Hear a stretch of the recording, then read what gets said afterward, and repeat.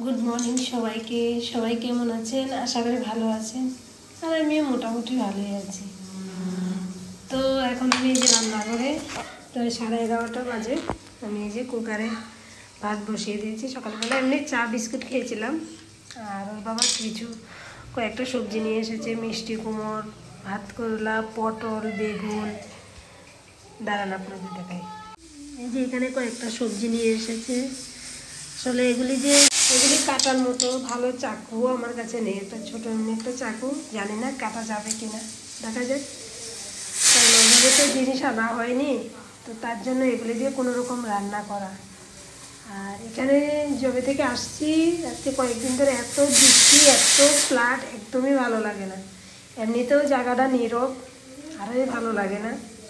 তার মধ্যে পরিস্থিতিটাও এরকম।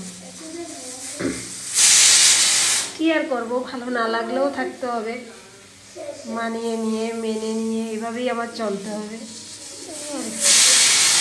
হয়তো বা জিনিসপাতিগুলি আনলে, তখন যদি একটু কাজের চাপে থাকলে, নানান চিন্তা আর আসবে না মাথায়, তখন ভালো লাগবে।